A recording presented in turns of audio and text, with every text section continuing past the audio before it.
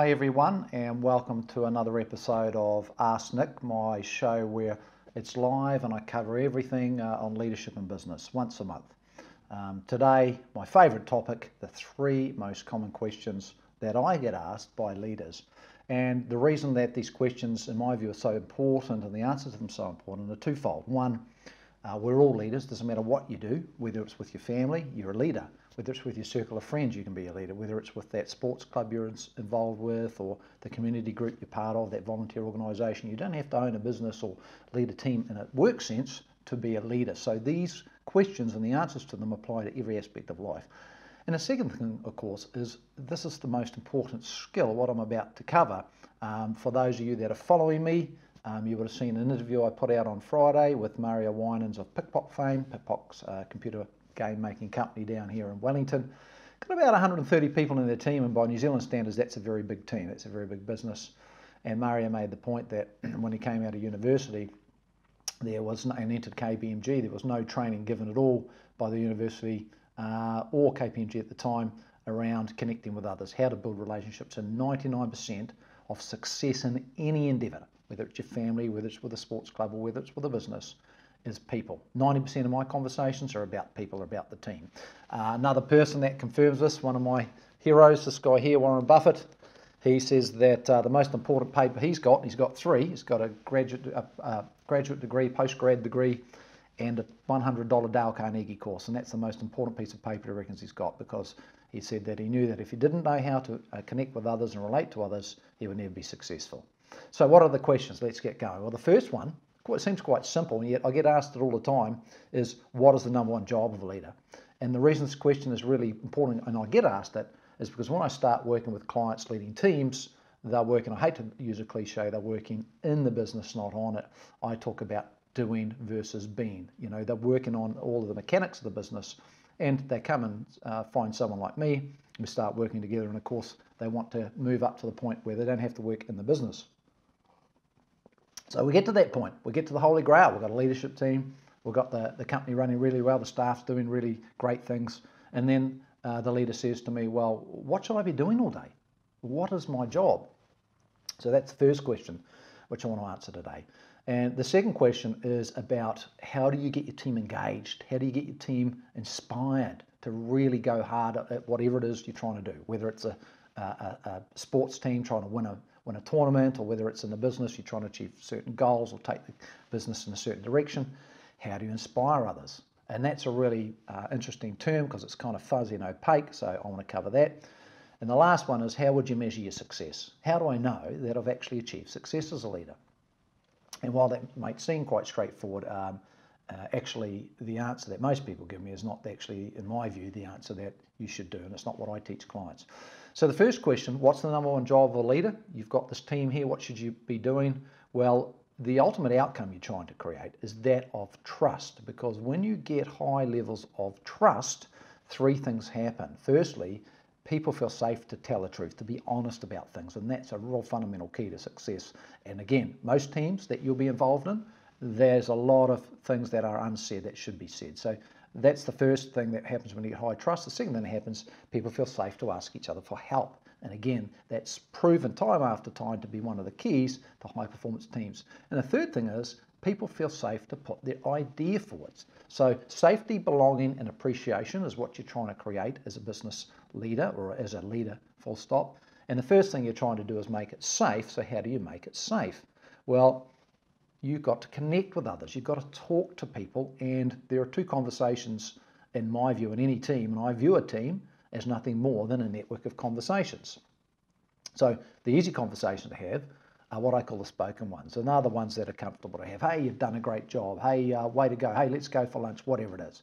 But the other conversations that run through like a little stream or thread through any organisation and team uh, what I call the unspoken conversations, which are the ones below the waterline, the rumours, the innuendo, the I'm not happy. And I get this all the time. I will literally get uh, one person from a team telling me something off the record, then another person from the same team telling me the opposite thing. Now, of course, my job and the business leader's job is to facilitate that conversation and get it on the table. So if you want to know what your job is as a leader, it's the number one thing you should be doing is facilitating what I call that unspoken conversation. Real easy example poor performers.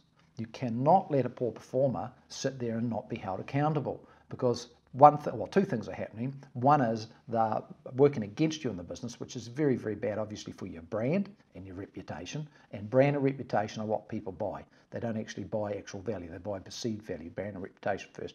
The second thing is that everybody else on your team is looking at you as a leader and asking themselves, well, hang on, this person said that these particular values are really important to our culture. You've got this poor performer over here, they're not living them or they're not hitting the numbers. I am. How is that fair? What are you going to do about it? Um, so that is the number one job of a leader because when you do that, you get uh, safety to tell the truth. You get safety to ask for help. You get people feeling safe to put ideas forward and you create trust. You get really, really connected.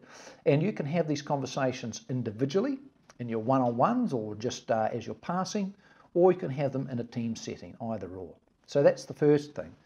However, as you would have seen with Mario's interview and time after time with almost every leader I've ever come into contact with, there's a high degree of fear around having these conversations. So the second question is how do you become inspirational to others? Um, well, tied in with the first one is what is my job? That is to have that unspoken conversation to create trust. But why don't people have that unspoken conversation? Well, it comes down to fear. So how do we overcome that? Well, the real key there is you must understand what your own fears are. And I've spent nine years doing this. And when I first started working with clients, and I still do, we, have got a plan for the business.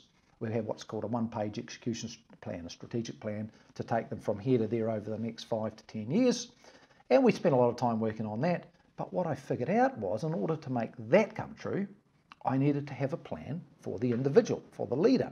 So I now have what's called these personal leadership brand development plans. We'll talk about that later. And in those, one of those keys to those plans is what I call the spiritual, which is basically about being centered.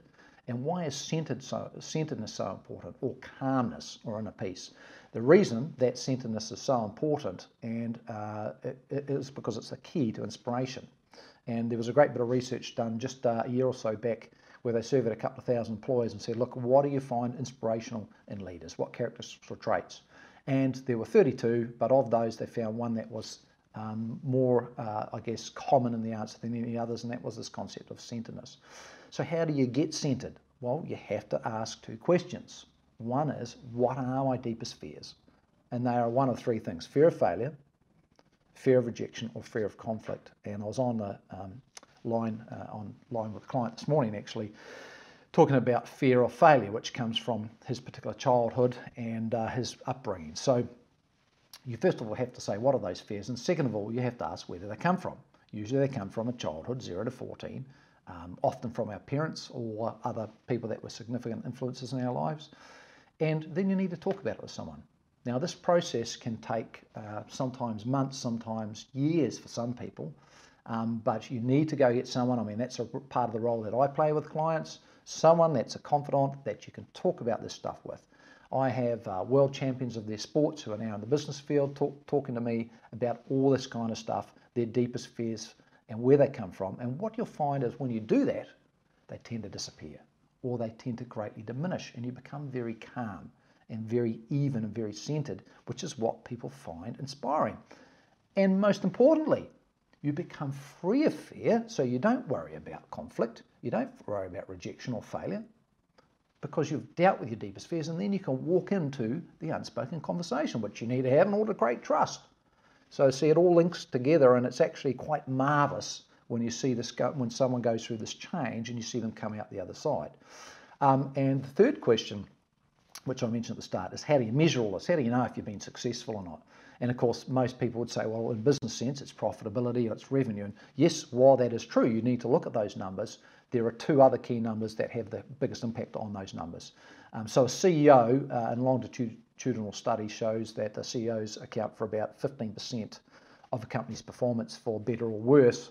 Um, so if you're a CEO or a leader, you're going to need to make sure that you measure how you're going. And the two key performance indicators, I believe, that every leader should look at is one around their team and one around their uh, customers. So the first thing, let's start with the team. How do you know if your team's engaged? Well, there's a really great um, survey you can do called the Gallup Q12. It is 12 questions asking uh, your team members to rate the business or, or their team on these 12 uh, variants. And you get the data back and you can drill down on the areas where you're not doing so well, go back to your team and you can make changes. And the clients that have been with me for many, many years have seen their QT scores just increase, increase, increase. They conduct them once or twice a year. If you want to know more about that, again, go to my website, nickharvey.online, type in the question there, and I'll, I'll explain to you how you can do that. So that's the first metric, and it, and it tells you if someone's engaged, disengaged, or actively disengaged. The second metric I think all leaders should look at is how are their customers rating the experience of their product or brand or service.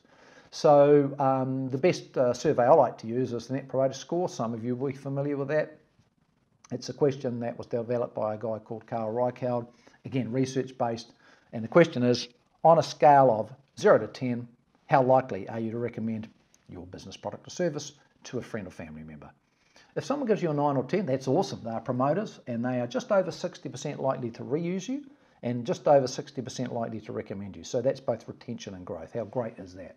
But here's the interesting thing. This, anybody gives you a 7 or 8, they're only 16% likely to reason and recommend you. So we, get, if, if we get an 8 out of 10, we think we're doing well, but those people are just likely to go down the road to your competitor as they are to come back to you. The good news is that you can sway a 7 8 and turn them into a 9 and 10. And the final group, 0 to 6, is the detractors, and they are 0% likely to reuse and recommend you. And the second question you should be asking if you decide to do this is what is the reason for the score you just gave? So you can uh, group the answers for the promoters and see what the trend is there, what do they love, the passives, those sevens and eights, those neutrals, see what they're saying and see if we can improve that to get them to be a nine or 10. And a zero to six is just stop doing whatever they don't like. So those are the two key metrics that'll tell you what you're doing.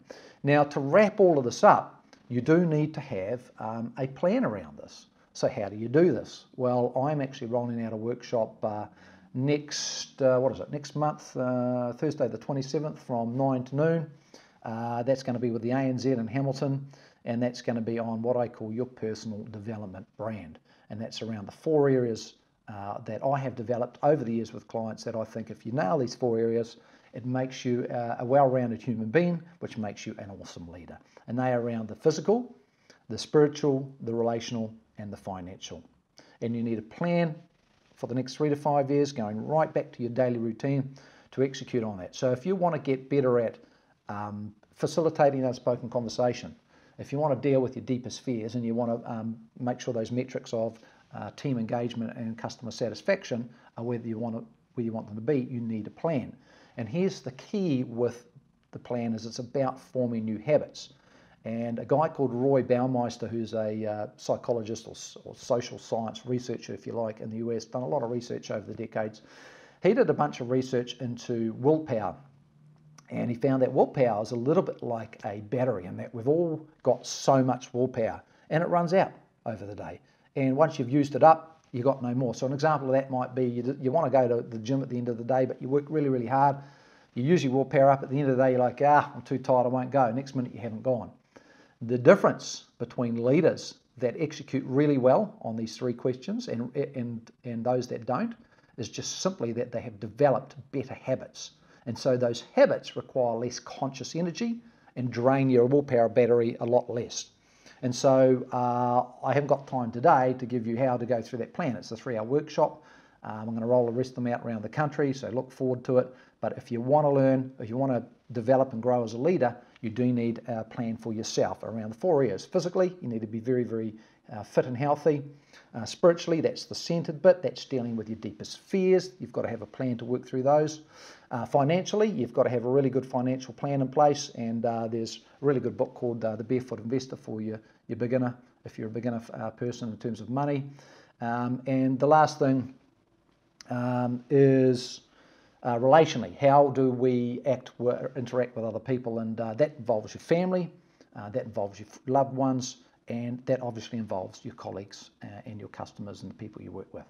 So if you've got any questions around this, make sure you let me know. But um, I'm really, really interested to get your feedback on how you go with facilitating the unspoken conversation.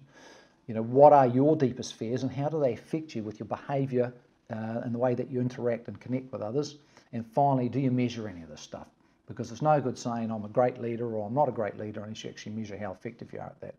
So yeah, go out there um, today and make sure, most importantly, that you be interested versus be interesting. And uh, again, if you've got any questions, fire them into me and have a super fantastic day.